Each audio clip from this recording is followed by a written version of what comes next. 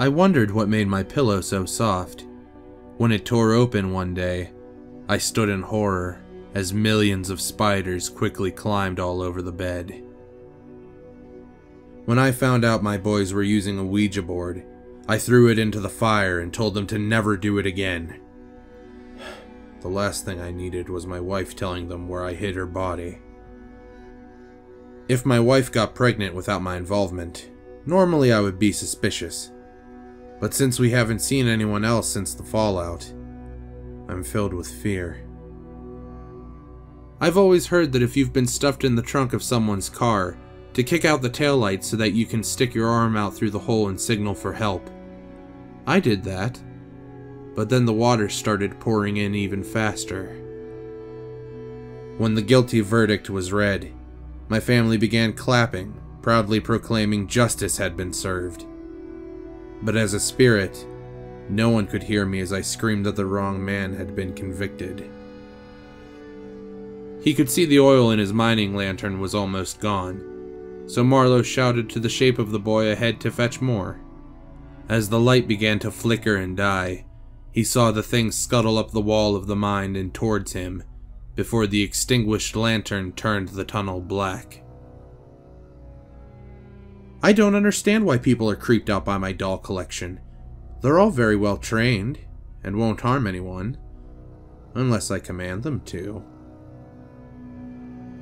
Everyone on Earth was so surprised when there was an unannounced total eclipse of the sun. But when hours went by without the sun reappearing, and we heard the roar of the beast, we realized the sun was just the appetizer. And what would you like for Christmas, little boy? I said from my throne at the Mall Santa kiosk. When he said, My little brother back, I knew I'd have to silence this one too. I was always terrified of the ocean as a kid, and as I looked back on my deflating life raft, at the two large gray fins swimming towards me, I realized my fears were justified. Sometimes you talk to yourself when no one is there. Why? Because subconsciously, you know someone is listening. After screaming myself hoarse in my casket, I could hear the scrapes and clangs of someone digging. I just wish the sounds had been coming from above me. I was so happy and ready to pass on when the Grim Reaper told me that my dog was waiting in heaven. Then he told me that, sadly, he will have to wait forever. I cooked a nice meal to thank the men who were helping to look for my missing daughter. After the poison had killed them, I released my daughter from her cage, and she began to slowly devour them. As I stared into the void, I saw two glowing red eyes staring back at me. Houston, we have a problem. Even after fighting off the zombie attack with my wife, I slept comfortably, knowing that she'd tell me if she ever showed signs of infection. Her mistake, as she learned a week later, was expecting the same from me. The graveyard keeper told me he ties bells around corpses to mark them dead. I wisely chose not to ask him why there was one on his wrist. Sweet dreams, I said as I turned out the light. There are definite perks to being a lighthouse keeper. Can this day get any worse? I growled as I slid behind the wheel in a huff.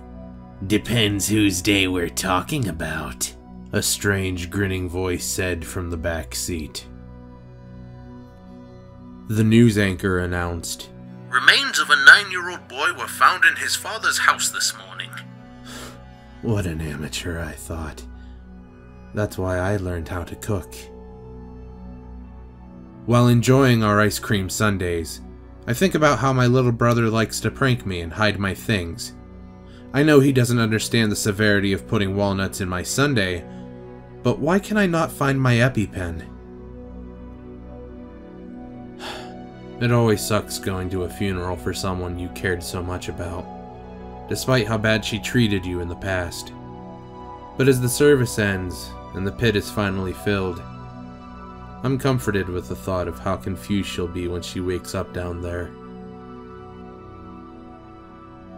Ugh, I groaned to myself, realizing I had left the hallway light on. Before I could get out of bed, though, the light clicked off.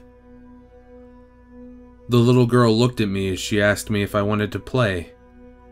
Naturally, I would say yes, but I was questioning the fact that she was in my basement.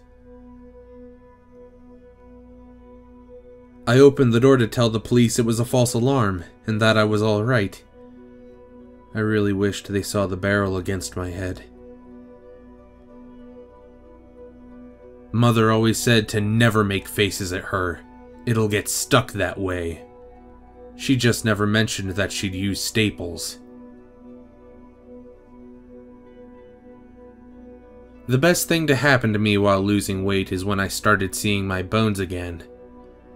It really gave me the motivation to keep scraping off my flesh.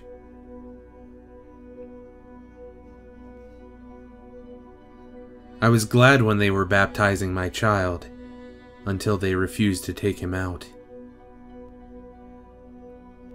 She stood naked in a midnight pool amidst lapping moonlit reflections and bade me in. Stripped bare of clothing in fear, I entered, and even my own wails, as the acid dissolved my body before me, could not stop my attempts to reach her. I could hardly move nor breathe as she gripped me tighter into her embrace and gave me the hungriest look I had ever seen in my life. In those final moments, I came to the conclusion that even though I had a great fascination for snakes, perhaps entering the boa constrictor enclosure wasn't the best idea.